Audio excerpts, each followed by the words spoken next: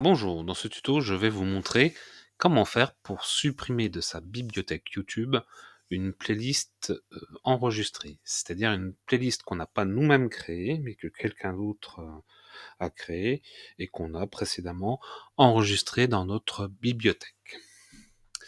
Donc pour ce faire, vous vous rendez donc sur euh, votre profil YouTube et vous allez directement dans Playlist.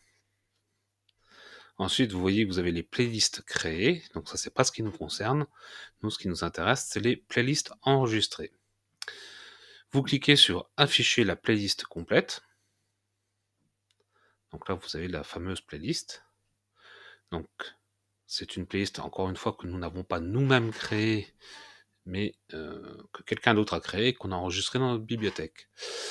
Et donc, vous euh, cliquez ici sur l'icône et votre euh, playlist vient d'être supprimée. Pour le vérifier, vous retournez sur votre profil YouTube. On clique sur playlist, playlist enregistrée, et vous voyez que euh, la playlist Johnny Hallyday a bien disparu. Voilà, et eh bien écoutez, j'en ai maintenant terminé avec ce tutoriel vidéo que je vous invite à liker en cliquant sur le pouce ici et à partager sur les réseaux sociaux. Pour finir, comme d'habitude, je vous rappelle que euh, vous avez la possibilité de euh, trouver un certain nombre d'informations euh, sous mes vidéos dans la description. En cliquant sur le plus, vous avez un déroulé. Et si vous appréciez mes vidéos et que vous, vous souhaitez m'encourager et ou me rétribuer, pour ce travail euh, qui vous est accessible 100% gratuitement. Vous avez toujours la possibilité de euh, passer par un de mes liens affiliés que vous trouvez euh, donc sous chacune de mes vidéos lorsque vous faites un achat qui concerne de près ou de loin WordPress essentiellement. et je vous rappelle que ces liens affiliés ne vous coûtent absolument rien. Hein. Pour exemple, je prends comme d'habitude l'offre O2 Switch qui est un hébergeur euh, web euh, très actif dans la communauté WordPress.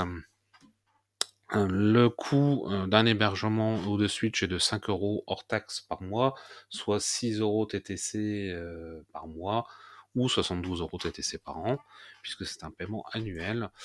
Et euh, bah, ce tarif sera appliqué que vous passiez ou non par mon lien affilié. La seule différence, c'est que si vous passez par mon lien affilié, je touche une petite commission.